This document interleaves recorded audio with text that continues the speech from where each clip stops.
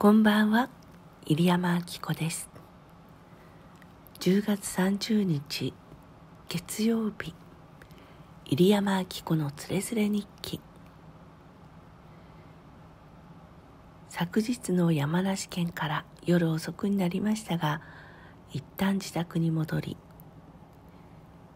今朝から移動して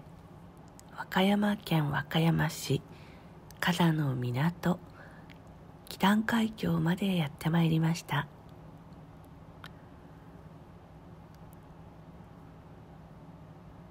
山口県でお目にかかったブラジルからのお客様。いつも応援くださる皆様が北段海峡に入られるということもあり今日サプライズでお会いするためにやってまいりました。サプライズともあってお昼間にばったり出会わないように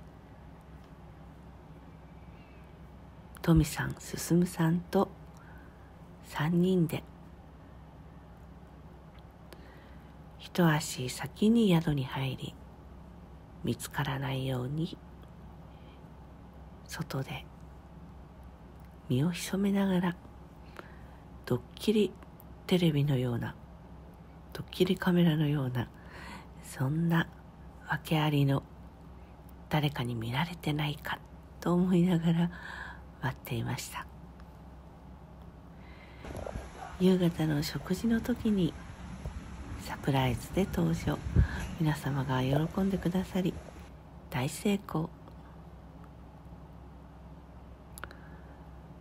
お話も弾み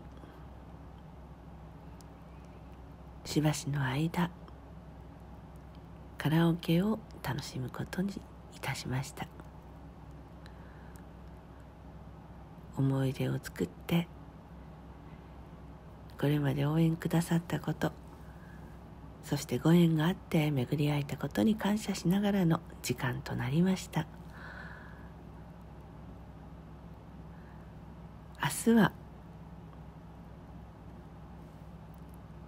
和歌山市内3軒のお店に顔を出し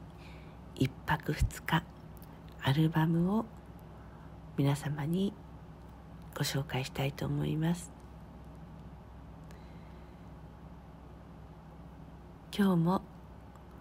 お花の写真をいただいています。